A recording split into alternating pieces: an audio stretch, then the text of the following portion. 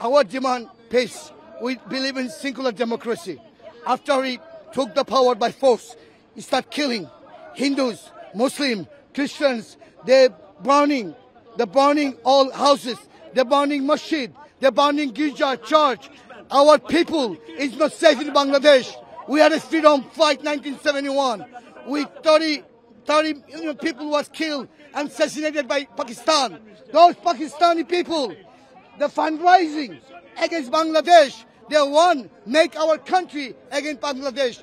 We, uh, they are terrorists and they don't believe in secular democracy.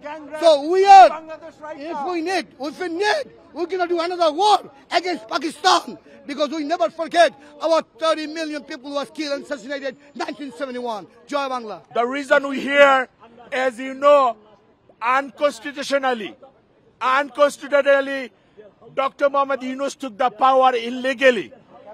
Our actually he captured the power with dirty politics and a lot of people killings.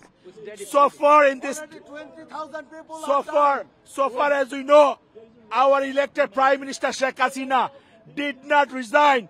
We are humble request to UN that since they couldn't prove themselves that she resigned, so our humble request, he did not represent uh, Bangladeshi people here.